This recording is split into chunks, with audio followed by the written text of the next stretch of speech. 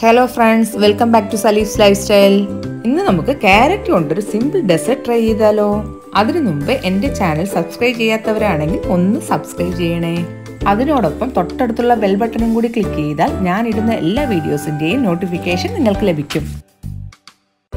ആദ്യം ക്യാരറ്റ് വേവിക്കാനായി കഴുകി വൃത്തിയാക്കി പീൽ ചെയ്ത് ചെറിയ പീസസ് ആയി കട്ട് ചെയ്തെടുക്കാം. അതിനുശേഷം ഒരു പാൻ അടുപ്പത്ത് വെച്ച് രണ്ട് കപ്പ് വെള്ളം ഒഴിച്ച് അതിലോട്ട് കട്ട് ചെയ്ത് വെച്ച ക്യാരറ്റ് ഇട്ട് കൊടുക്കാം.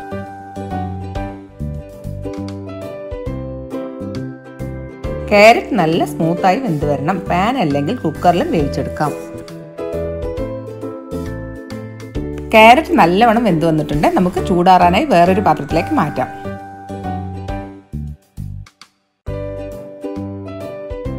ബാലൻസ് വന്ന വെള്ളം വേറൊരു പാത്രത്തിലേക്ക് മാറ്റി വയ്ക്കാം ക്യാരറ്റ് നല്ലവണ്ണം ചൂടാറിയിട്ടുണ്ട്. ഇത് ഒരു മിക്സി ജാറിലോട്ടിട്ട് മാറ്റിവെച്ച വെള്ളവും കൂടി ചേർത്ത് അടിച്ചെടുക്കാം. വെള്ളം കൂടി പോവാതിരിക്കാൻ പ്രത്യേകം ശ്രദ്ധിക്കണം.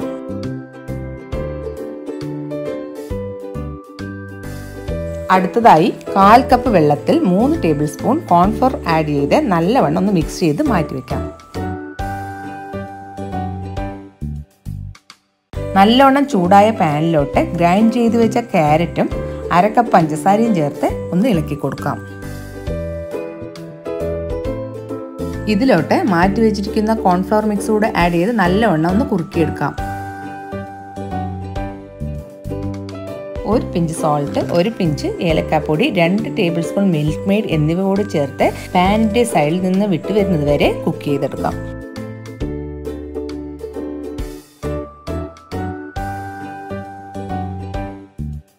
നമ്മുടെ ഡിഷ് ഓൾമോസ്റ്റ് റെഡിയായി ഗ്രീസ് ചെയ്ത ബൗളിലോട്ട് മാറ്റാം.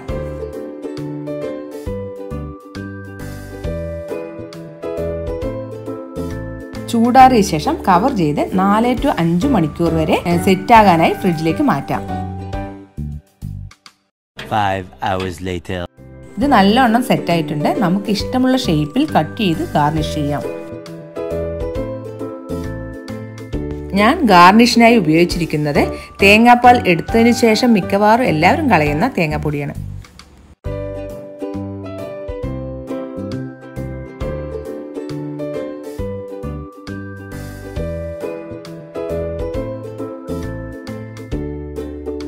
ക്രഷ് ചെയ്ത പിസ്ത കൂടെ ഇട്ട് കൊടുത്താൽ നമ്മുടെ ക്യാരറ്റ് ഡിലൈറ്റ് റെഡി.